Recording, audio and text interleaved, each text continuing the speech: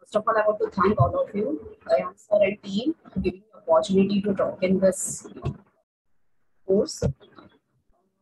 One will think why diabetes educator is talking in nephro lectures. So here I am just to give uh, you some my experience. I want to share my experience uh, working as a diabetes educator and how we can help our patient to come out from their complications and to reduce the uh, non-essential admission. So very first, uh, we are going to see about the patient educator. Patient educator uh, is a uh, it, uh, patient education is uh, Shakha, your needed. voice is getting echoed. Are you have you joined through two different speakers? No, no, no. Two different devices. Just check that.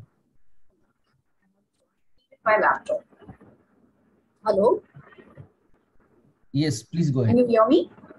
Yeah, it's getting echoed. The the voice. Now is it okay? Hello. Seems better. Yeah. Okay. So uh, diabetes educator uh, uh, before uh, I want to share um, why patient education is needed. So patient education is can be defined as a process of influencing patient behavior, producing the changes in knowledge, attitude, and skill necessary to maintain or improve health. Through education, we are helping patient to reduce their complication in future so that's why the patient education is more important for us whenever we treat any patient, in, especially in any chronic diseases. So like diabetes or nephro patients. So first of all, I want to share what is the history of NDP. NDP is a National Diabetes Education Program. It was initiated with the primary aim to educate and train diabetes educator in India. Before this, there was no educator pro program. Uh, patient was getting education only when they get admitted in hospital. So if they are admitted with any sickness, so at time of discharge, they come to know what exactly they have to do. But that is not in a detail. It's a, just a brief information.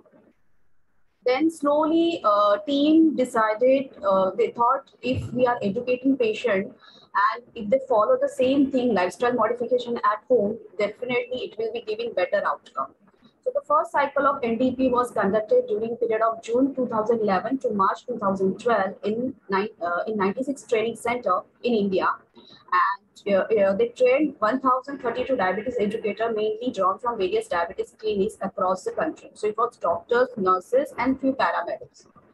In India, it was started 2011, but other other countries, almost in uh, mid of 1970s, the patient education program started still uh, we already having this education program, but uh, many people are not aware about the certification courses.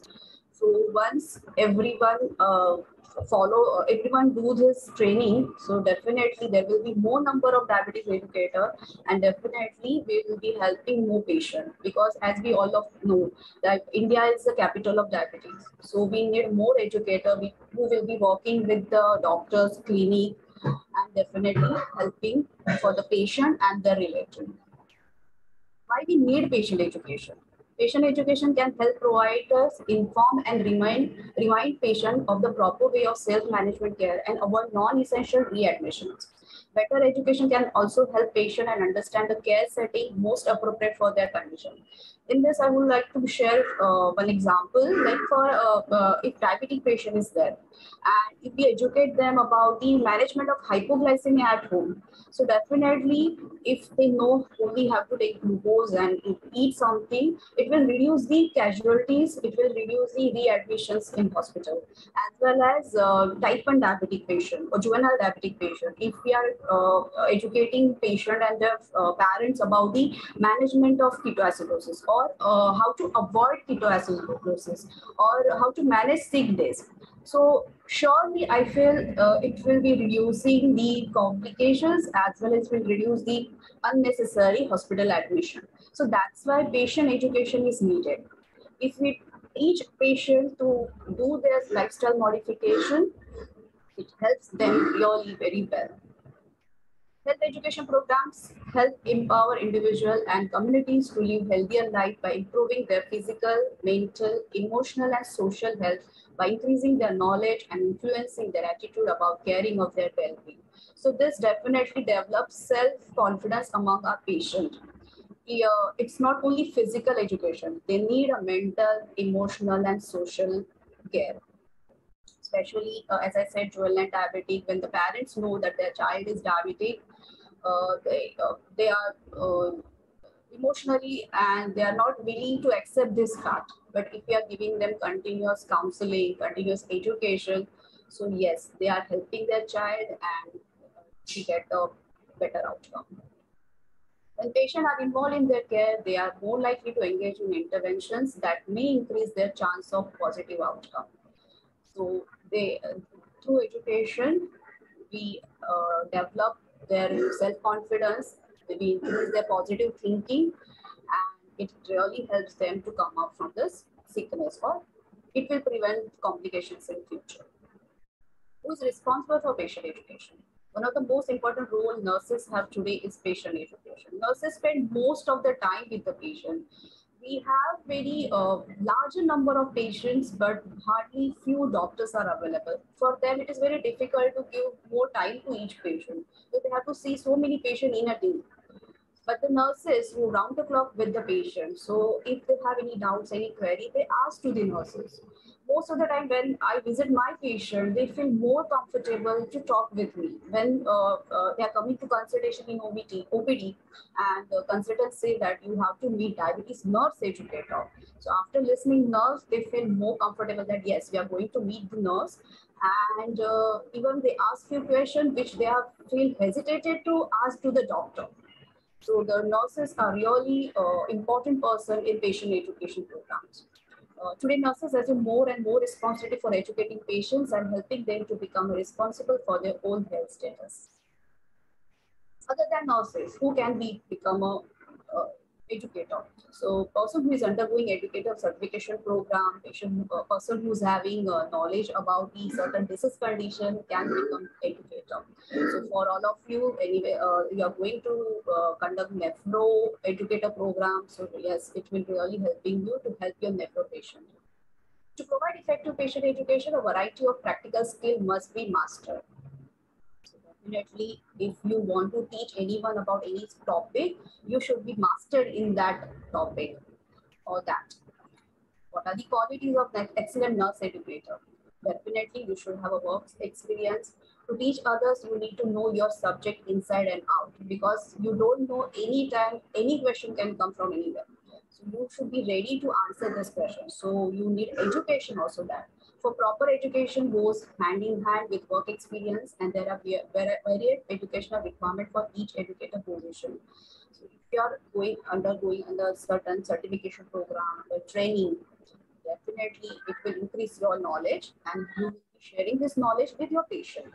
You should have the ability to teach, skill, and definitely the passion to teach others. What does educator do?